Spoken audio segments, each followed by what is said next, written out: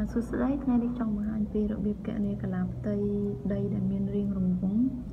How to find circle area នេះគឺដីដែលមានរាងជារង្វង់តែនេះខ្ញុំមានរាប់តើគូទេណាសូមអធិស្ឋានផងមិនដឹងថាវាមើលទៅដូចជាមិនសូវជាមូលហ្មានទេសូមទោសផងជាងមានអង្កត់ AB គឺប្រវែង8ម៉ែត្រតែនេះអង្កត់ផ្ចិតអង្កត់ផ្ចិត AB ប្រវែង8ម៉ែត្រចា៎យើងប្រើរូបមន្ត ដូចនៅក្នុងរូបវិទ្យាណា S ស្មើនឹង2គុណនឹង R ក្រេ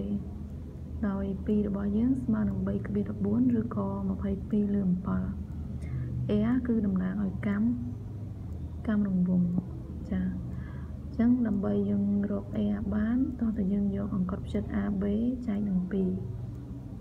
អញ្ចឹងប្រវែងអង្កត់ផ្ចិតរបស់យើង8ម៉ែត្រចែកនឹង2ទៅស្មើនឹង4ម៉ែត្រ ចឹងយើងនាំឲ្យ air នេះស្មើនឹង4ម៉ែត្រអញ្ចឹងយើងបាន s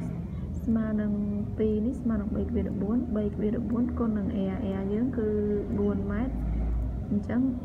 អឺ air ការ៉េនេះគឺយើងលើកទៅជា4ការ៉េចានិយាយរៀងលឿនតិចចាអញ្ចឹងគឺស្មើនឹង3ក្បៀរ14គុណនឹង16ស្មើនឹង50.24ម៉ែត្រការ៉េ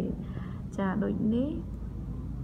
ដីរបស់យើងទាំងមូលដែលមានរាងរង្វង់នោះគឺមានប្រវែង